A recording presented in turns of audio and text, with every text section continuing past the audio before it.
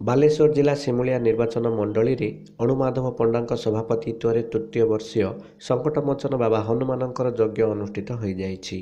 ପ୍ରଥମ ଦିନରେ ରୀତିନୀତି ଅନୁସାରେ ଶହେ ଆଠ ସଧବା ନାରୀଙ୍କ ଦ୍ୱାରା ଅପରାହ୍ନ ବାର ଘଣ୍ଟିକା ସମୟରେ ବିଭିନ୍ନ ବାଦ୍ୟର ତାଳେ ତାଳେ କେଫିଫ୍ଲାଏସ୍ରୁ ଏକ ଶୋଭାଯାତ୍ରାରେ ବାହାରି ନୀଳକଣ୍ଠେଶ୍ୱର ମନ୍ଦିର ପ୍ରାଙ୍ଗଣରେ ପହଞ୍ଚି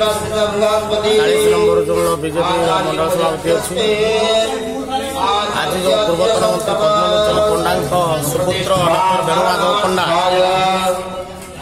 ଯେଉଁ ସଙ୍କଟ ହନୁମାନଙ୍କର ଯେଉଁ ଯଜ୍ଞର ଆରମ୍ଭ କରିଛନ୍ତି ଆରମ୍ଭ କରି ଏଇଟା ତୃତୀୟ ବର୍ଷର ପଦାର୍ପଣ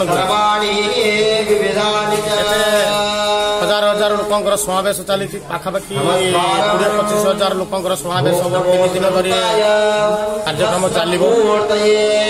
ମହାନ ପ୍ରବଚକ ମାନଙ୍କ ଦ୍ୱାରା ପ୍ରବଚନ କାର୍ଯ୍ୟ সন্ধ্যায় রহব ভজন পরিবেশন হব। ওড়িশার যে সুনামধন্য কণ্ঠশিল্পী। আুমার বাতি যেটাকি আমার ঘরে ঘরে পরিচিত সংগীত হিসাবে সে বি সংগীত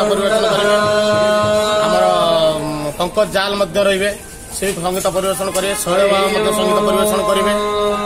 ଆଉ ଆଜି ଯେଉଁ କଳସ ଶୋଭାଯାତ୍ରା ହେଇଥିଲା ଏଥିରେ ଆମର ଦେଢ଼ଶହର ଉର୍ଦ୍ଧ୍ୱ ସ୍ତ୍ରୀ ଲୋକମାନଙ୍କର କଳସ ଶୋଭାଯାତ୍ରା ସେମାନେ ସାମିଲ ହେଇଥିଲେ।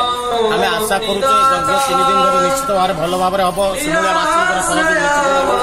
ଆଉ ଡକ୍ଟର ବେଣୁମାଧବ ପଣ୍ଡା ଚାହିଁଛନ୍ତି ଶିମୁଳିଆ ଅଞ୍ଚଳର ସୁଖ ଶାନ୍ତି କେମିତି ପ୍ରତିଷ୍ଠା ହେବ ସେଥିପାଇଁ ଯଜ୍ଞର ଶୁଭାରମ୍ଭ କରୁଛନ୍ତି। ସଙ୍କଟମୋଚନ ହନୁମାନଙ୍କ ପାଖରେ ପ୍ରାର୍ଥନା କରୁଛନ୍ତି ଯେ ଶିମୁଳିଆବାସୀ ଖଇରାବାସୀ ତଥା ବାଲେଶ୍ୱର କେମିତି ସୁଖରେ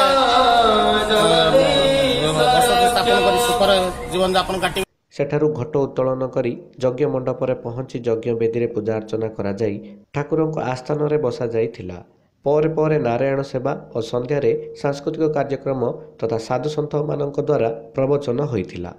ଆଜି ସନ୍ଧ୍ୟାରେ ଠାକୁରଙ୍କୁ ବିସର୍ଜନ କରାଯାଇଛି ବାଲେଶ୍ୱର ଜିଲ୍ଲା ସିମୁଳିଆରୁ ସାବିତ୍ରୀ ବାରିକଙ୍କ ରିପୋର୍ଟ ଉତ୍କଳ ଖବର